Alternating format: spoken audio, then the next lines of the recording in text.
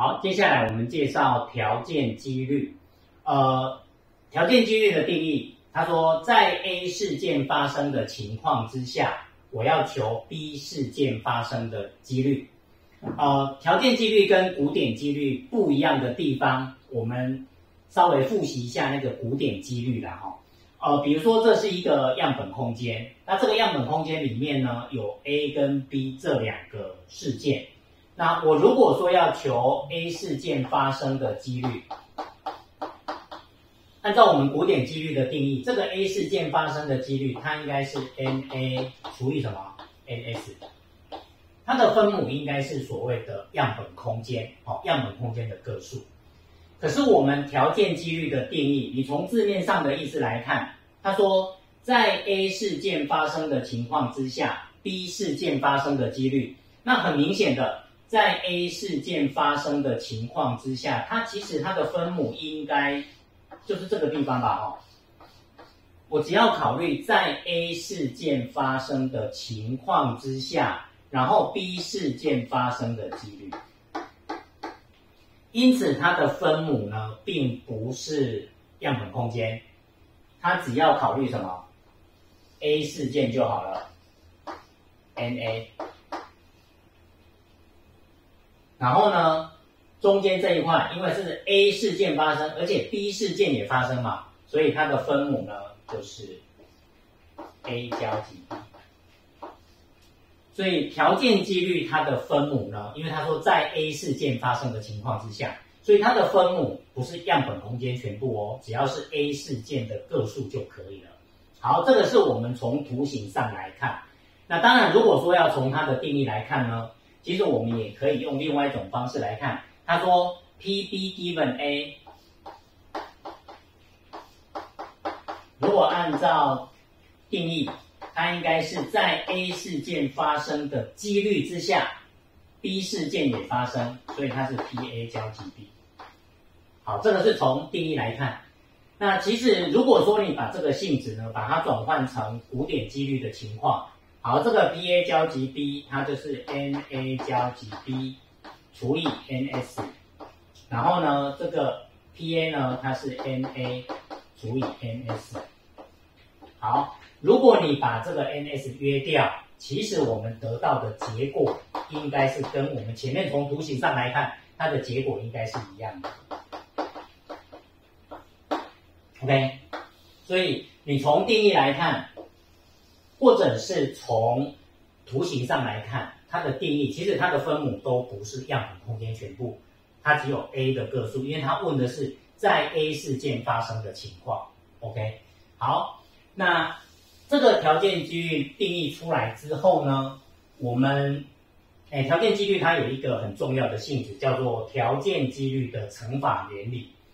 呃，我们这个 P A 交集 B 定义这样子，那我如果说要求 A 跟 B 同时发生的几率，P A 交集 B，我可以把它写成什么？P A 乘上 P。B given A，呃，把它翻成中文的话，它是这样子哈，A 跟 B 同时发生的几率，它就等于 A 事件发生的几率乘上在 A 事件发生的情况之下 B 事件发生的几率，好，这个叫做条件几率的乘法原理。所以我们通常在做一些几率运算的时候，为什么它是用乘的过程？好，因为为什么它是用乘法？它其实它是条件几率的一个乘法原理，OK，好，这个是条件几率的定义。那第二个呢，我们要定义所谓的独立事件。呃，如果 A 跟 B 这两个事件呢，我们说不相关，呃，不相关不是互斥哦。我们前面有提到所谓的互斥事件。那互斥事件呢？是 P A 交集 B 是空集合，就是零了哈。P A 交集 B 是零，就是 A 交集 B 是空集合。但是我们独立事件，我们这样定义：A 跟 B 同时发生的几率呢？如果刚好就是 P A 乘上 P B，那这个我们就称 A 跟 B 叫做独立事件。哦，A 跟 B 是独立事件。那事实上我们也可以这样看，我们如果说从这个条件几率的乘法原理来看独立事件的话，我们看后面这一项，什么叫做独立事件呢？如果说 A 跟 B 是独立的话，那么在 A 事件发生的情况之下，B 事件发生的几率，如果刚好就是 PB 的话，那这个 A 跟 B 呢，我们就称它叫做独立事件。OK，以上是我们条件几率跟独立事件的一个性质。好，再来我们看这个单元的最后一个性质哈，叫做贝氏定理跟它的一些应用。呃，要讲这个概念之前呢，其实同学可以看一下我们黑板上面画的这三个图形哈。我们从古典几率，然后到条件几率，到现在的贝氏定理，它怎么来做一些区分？呃，前面我们介绍古典几率的时候，大概就是求单一事件嘛。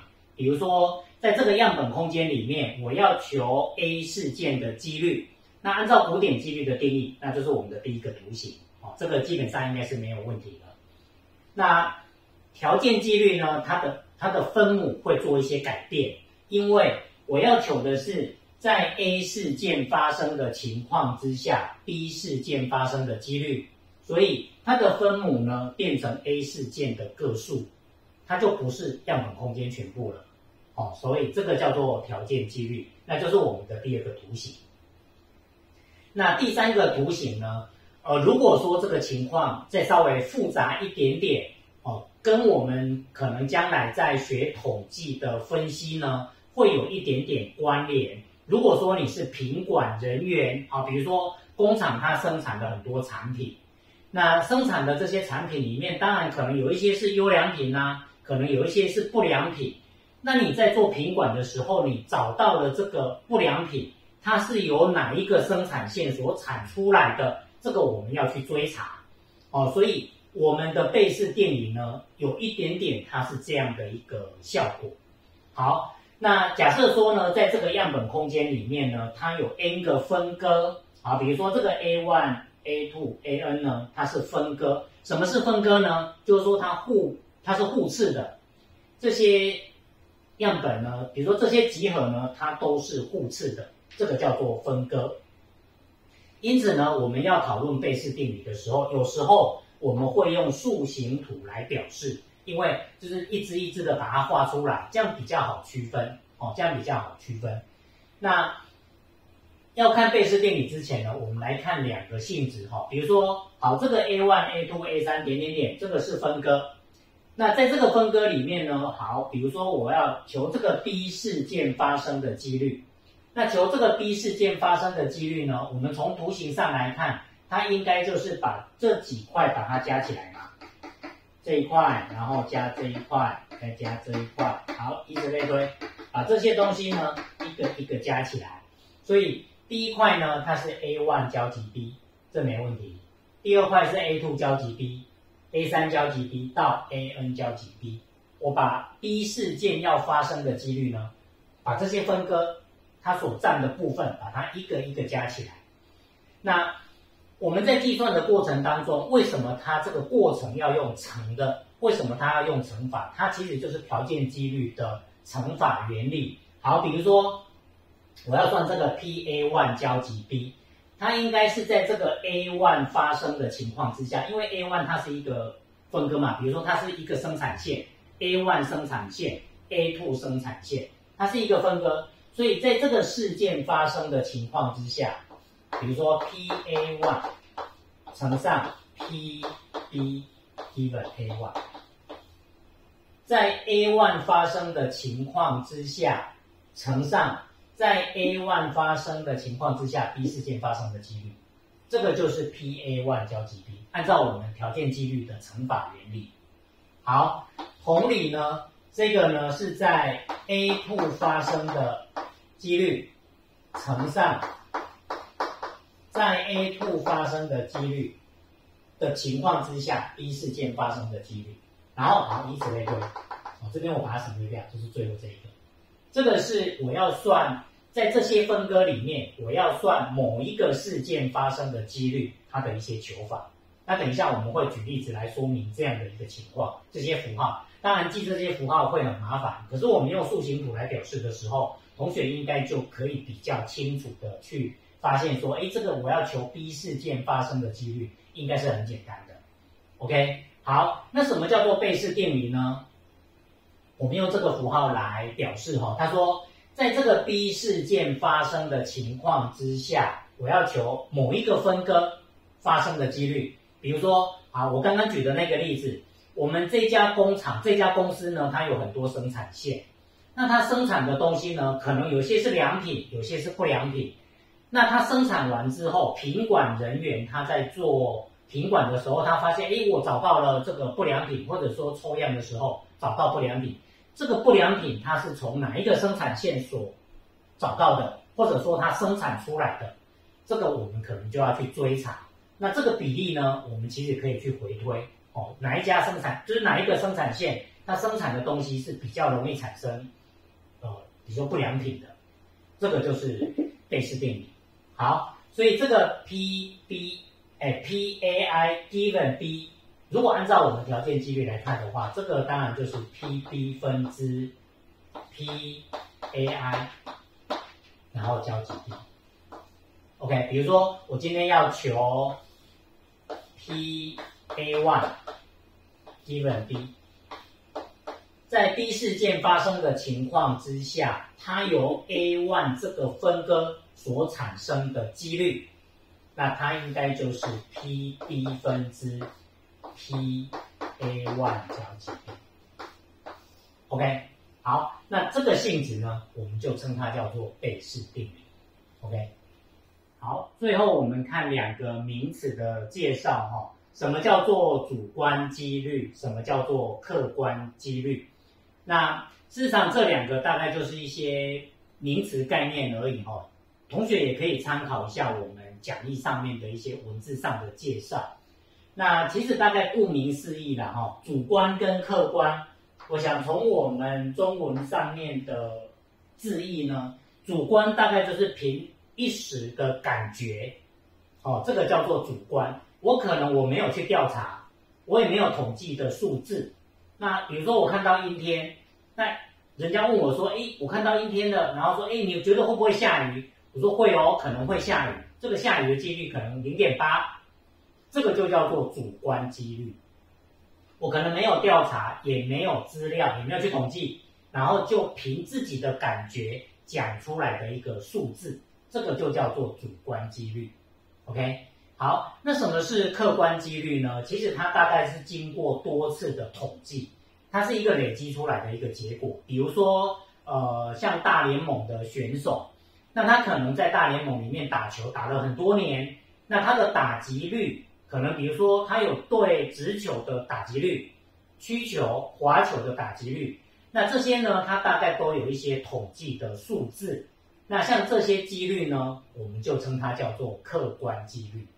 OK，好，我们来看一个条件几率跟独立事件的一个综合应用。呃，题目他说，假设某人呢要把笔电，然后接上传输线之后呢，要把它投影到所谓的投影机。那如果说传输线跟投影机呢，其中有一个坏掉，或者是两者都坏掉的话，那就没有办法正常投影。然后呢？传输线故障的几率呢是零点一，投影机故障的几率是零点零五。好，题目它要求连接之后呢，无法正常投影的情况之下，然后传输线没有故障。好，假设我把无法正常投影的事件叫做 A 事件，然后传输线没有故障的事件叫做 B 事件的话。那我们要求的应该就是 P B given A，在无法正常投影的情况之下，传输线没有故障的几率。好，这个就是条件几率。那按照我们的定义呢，它应该就是 P A 分之 P A 交集 B。好。所以只要我把这两个求出来呢，应该就可以求出我们所要求的这个答案哦。好。那题目给了这两个条件哦，我们把它用文字图来看一下。他说传输线故障的几率呢是零点一，然后投影机故障的几率呢是零点零五。当然有可能它是两者都会故障，所以我们如果说看这个 A 的话，P A P A 是题目，它讲说如果其中有一个故障或者两者都故障，所以呃这个 P A 呢，它应该是零点一，可能其中一个故障。那以这个图形来讲的话，它当然包含这个中间的状况嘛，哦，中间这个状况是两者都是坏掉的。那呃，不过它题目有给一个条件，它又说，呃，这个传输线故障跟投影机故障的事件呢，它是互相独立的，故障与否是独立的，所以呢，如果是独立事件的话，那这个交集应该就是把这两个几率相乘，哦，比如说 P A 交集 B 就等于 P A 乘上 P B 嘛，所以这个地方呢要扣掉零点一乘上零点零五。传输线故障跟投影机故障与否是独立的，OK，好，那这个 PA 算出来呢是零点一四，零点一四五，好，分母算出来了，那我要求这个 PA 交集 B P A 交集 B，那 PA 交集 B 是什么情况呢？他说，如果说按照我们一开始的假设，我们说 A 呢是无法正常投影，然后呢？B 呢是传输线没有故障，那这个 A 交集 B 就是它没有办法正常投影，但是传输线没有故障。那如果是传输线没有故障的话，那是什么故障？应该就是投影机故障。所以这个 BA 交集 B 呢，它应该就是投影机故障。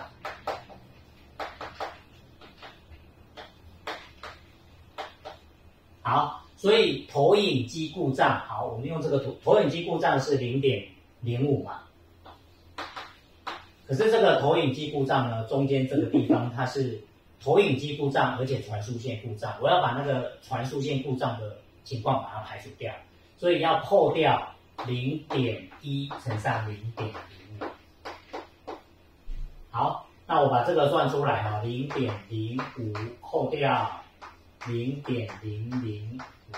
所以这个是零点零四，那我把这两个带进去，我就可以求出我们这个题目要求的答案。好，再来我们看一个条件几率的一个应用，呃，这个性质叫做公平原则，哦，公平原则。呃，台湾话有一句话讲说，哎，先丢先牙，先抽先赢。那事实上是这样子吗？好，我们来看看这个范例哈。呃，他说有一个百货公司呢，它周年庆，那它推出一些促销活动。呃，如果你消费满一万块，那你就可以参加抽奖。那这个抽奖活动呢，它总共有十个福袋，然后呢，中奖的福袋呢有两个。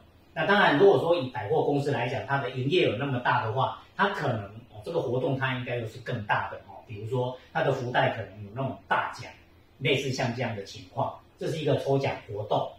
那他说排在第三位的顾客呢，他中奖的几率，呃，假设说新 Q 新牙，那新 Q 新牙的话，那会不会说第一个中奖几率比较高，第二个中奖次高，第三个就不会中奖？应该不会这样子。我们来看看哦。好，第一个人，好，因为。可能有消费的顺序嘛？那第一个人，比如说排在第一个人，第一个人中奖的几率，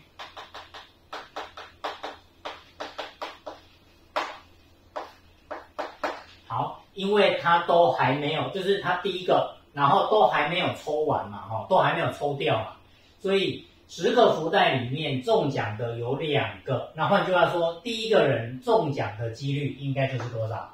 是不是就是十分之二？好，所以它应该是五分之一嘛。那以这个抽奖来讲的话，他抽完之后，他一定不会把这个福袋再放再放回去嘛，所以应该是取货不放回的情况哦，他不会再放回去。他抽中了就抽中了，不管他有没有中奖，他就拿走了。所以第二个中奖的几率呢，有可能第一个中奖，对不对？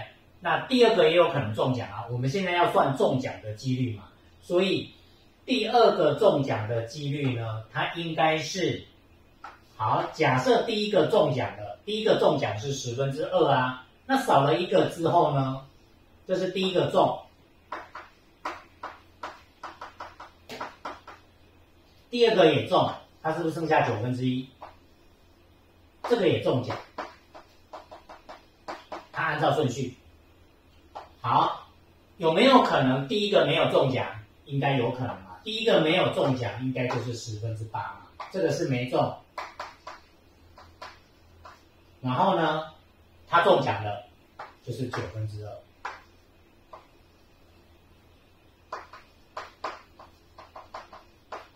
好，那我们如果把这个乘起来的话，应该分母就是九十，然后这边是六、十八。好，如果把它除一除，应该还是多少？应该还是五分之一。所以第一个人中奖的几率五分之一，第二个人中奖的几率呢，应该还是五分之一。这个叫公平原则。那如果你按照这样的性质来考虑，我第三个人中奖的几率呢？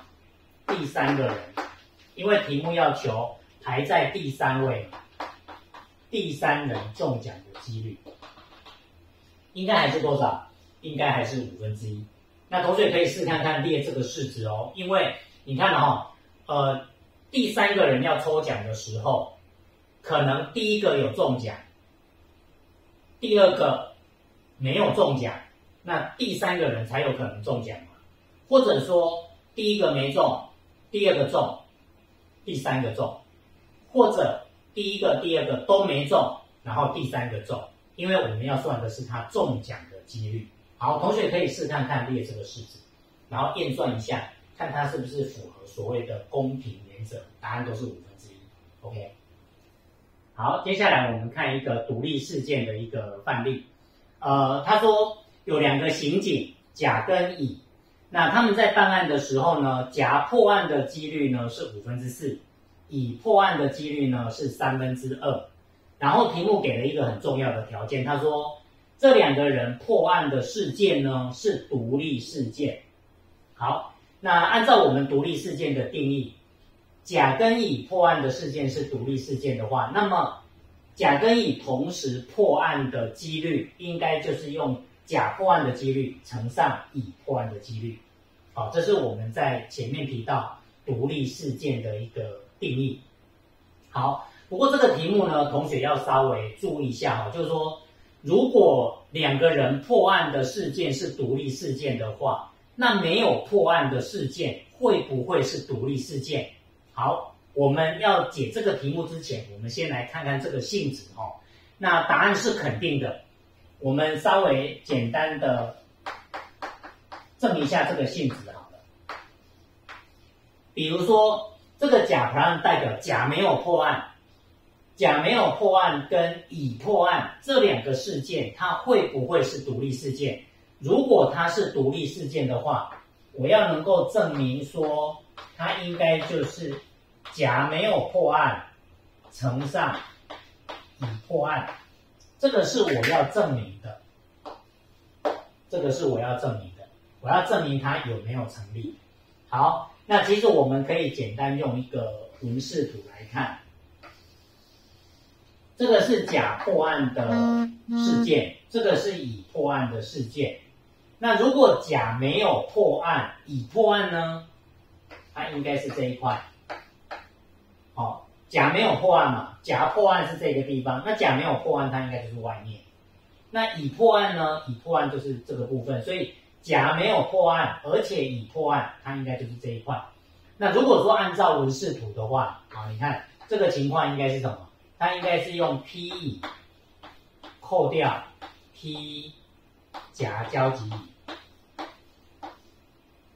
好，所以呢，这个是 P 乙减掉甲跟乙，它是独立嘛，所以它应该就是 P 甲。乘上 P 乙。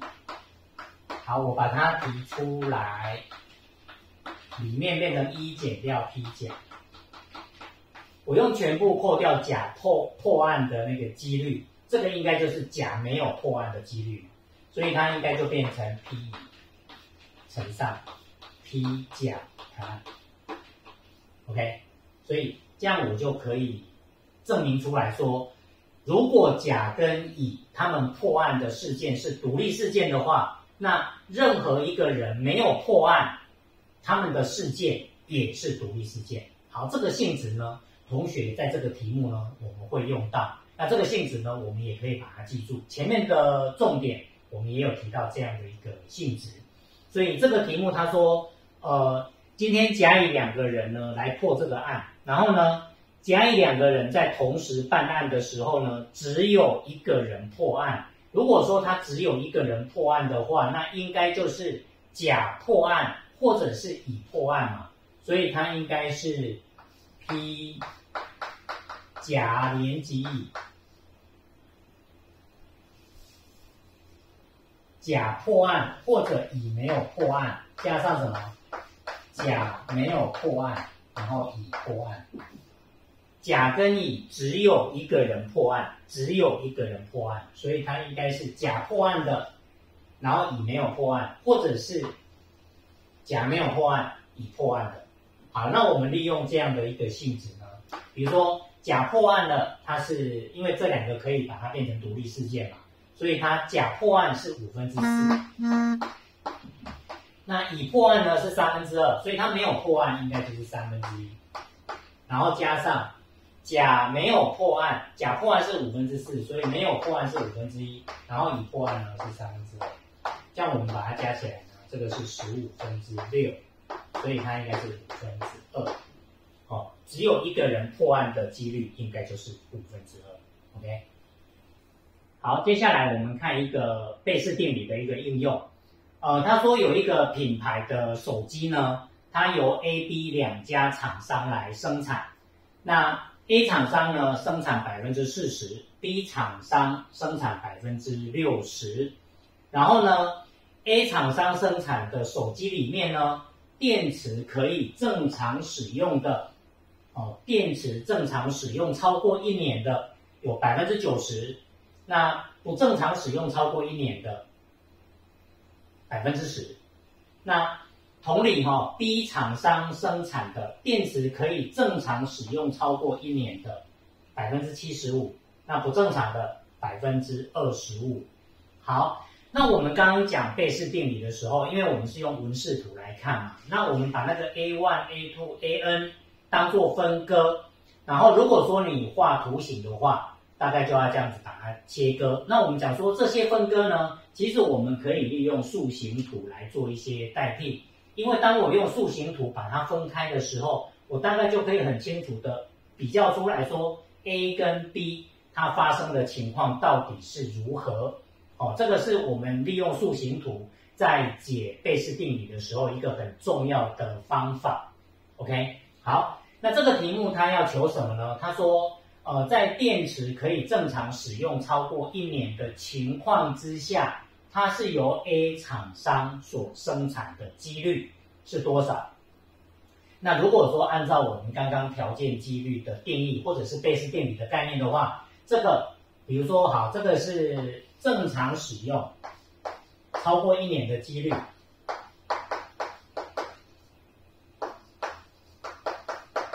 分之这两个把它交集起来，就是 A 交集正常使用的。几率，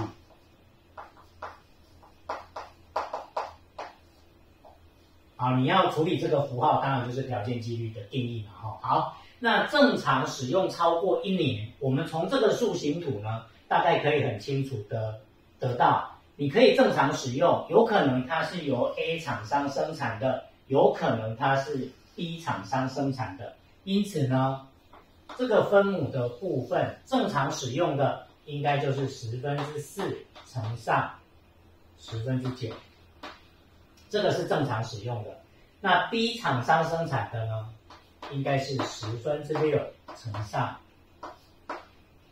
一百分之七十五。